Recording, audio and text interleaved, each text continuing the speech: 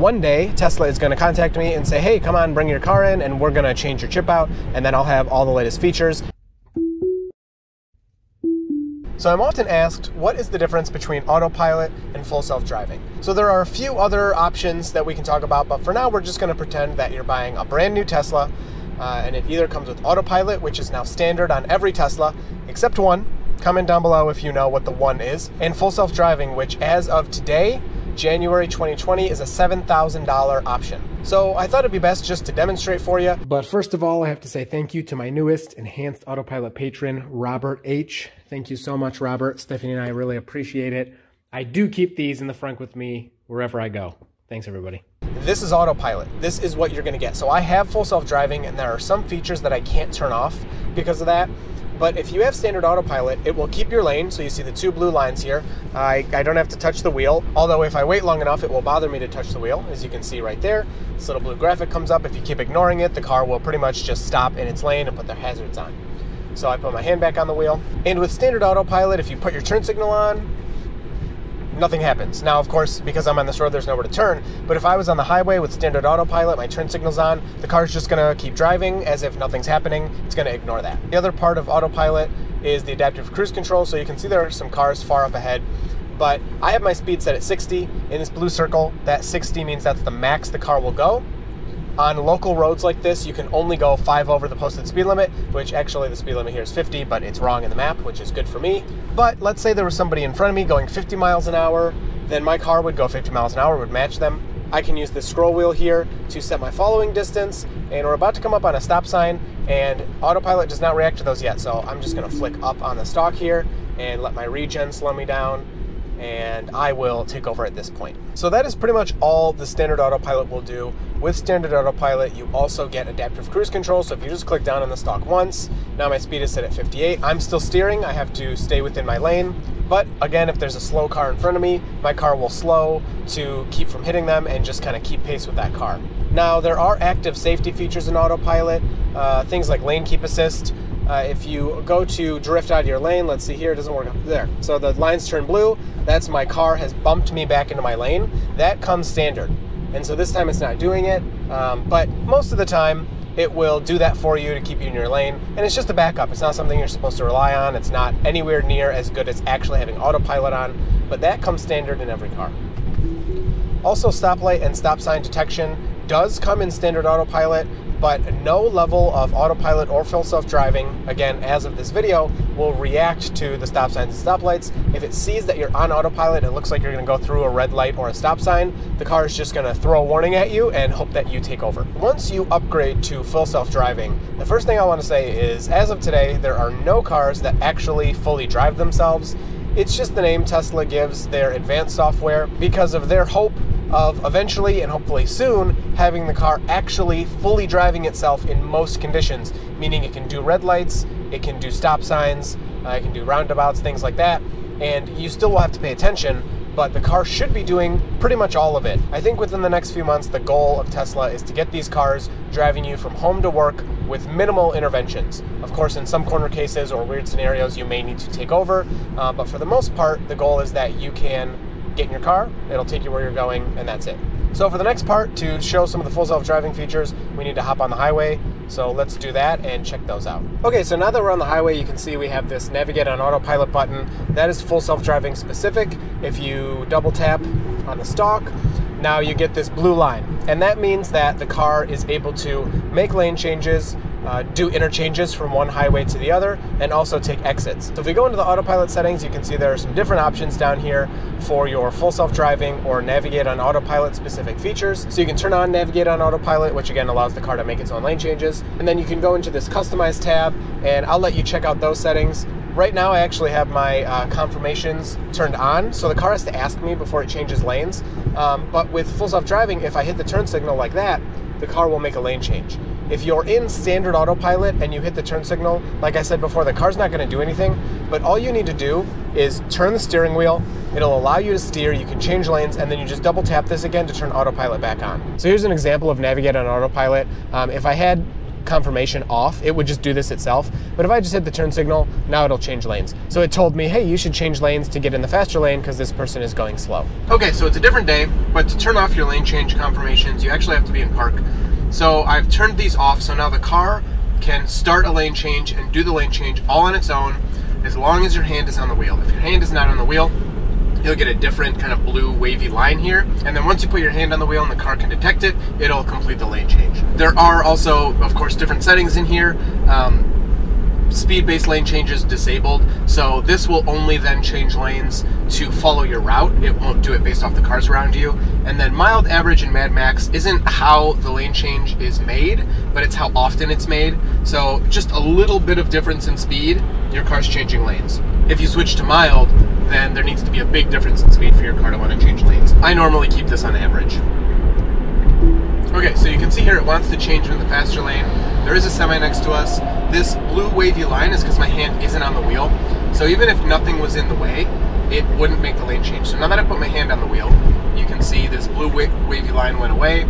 There is a guy there, but uh, he gave us enough space to get over, and the car did that all on its own. I did not change lanes. So a couple of the things for the full self-driving lane changes. Hopefully I don't look too stupid here, but if you go to change lanes and there's a car in the way, uh, the, the car simply won't do it. It won't change lanes. So if I wait until I'm right next to this truck here, um, I can turn my turn signal on and you will see that the car will not change lanes. So I waited because what, what my car is going to do, so let me cancel that. What my car is going to do when I turn my turn signal on is you saw that was red for a second there. My car is going to hit the brakes so that I can get behind it um, and change lanes that way. So the other thing is the full self-driving auto lane changes will not change over a solid line. So if I turn my turn signal on here, um, and everybody's going to think I'm weird, um, you can see the car's not red because my car just is like, eh, I don't know. There's nothing I can really do about that. oh my gosh, everyone probably thinks I'm stupid. Um, but my car thinks there's nothing I can do about that. It's a solid line. I'm not going to go over that. Um, so it just simply won't complete the lane change. So when autopilot's on, there is a little bit of resistance in the wheel, but when your turn signal is actually on and you go to break free, basically of, of autopilot, it's a lot easier than if the turn signal is off. So if you have standard autopilot, you want to just turn your turn signal on and then change lanes because it'll make it a lot easier on you than having to kind of yank the wheel over. Just like in standard autopilot, you can see here, you do have to keep your hands on the wheel. If you don't have your hands on the wheel long enough, the car is going to bug you about it and ask you to apply slight force to the wheel. So just a slight turning force in either direction. You want to hold it. You don't want to wiggle it. Um, sometimes that works, but it's not really the appropriate thing to do. Your other option to get rid of that nag is to use either scroll wheel button um, if you change your speed or change your volume on the radio. And also hitting the turn signal will show the car that you're paying attention. So here you can see the speed keeping of autopilot. Again, my max speed is 78. I can increase that as much as I want, all the way to 90, which is the max. And the car's not gonna go any faster than the car in front of me. So it's just using the car in front of me as kind of its guide on the speed to go. Currently I have my following distance set at one, which for me personally on the highway is usually pretty good. You can see the gap is still pretty good. If I count the time delay between the cars, it's right around two seconds. Um, it could be a little longer to be a little safer, um, but with autopilot's quick response time, this for me, especially when there's a little bit of traffic, is a good gap, um, or else people keep cutting you off. Some of the other features you get when you purchase full self-driving, you get auto park, um, which doesn't work all that well, although I did use it the other day to parallel park and it was like perfect and awesome and I really liked it. You also get Smart Summon, which allows you to bring the car to you from up to 200 feet away in a parking lot. Uh, you just hold a button on your phone on the app and the car will come find you. It works okay. The max speed is five or six miles per hour, so it's a little bit slow. Um, but with everything, it, it, gets better over time. Even this feature I'm using now, this Navigate on Autopilot, when it was first uh, announced, you actually it didn't make its own lane changes. You had to make them yourself. Um, and then when it could make its own lane changes, it wasn't that great at them. And now it's really, really good. I mean, I have multiple days where I drive to work and I don't do anything on the highway. The car does it all. What is that? A lifted Suburban. Oh, buddy. Um, the other thing you get when you purchase full self driving is the promise of all future upgrades to make your car full self driving capable. Now, of course, this could be shut off at some point, but as of today, the car is surrounded by eight cameras on the outside and then one interior camera if you're in the Model 3, and the hardware 3.0 chip.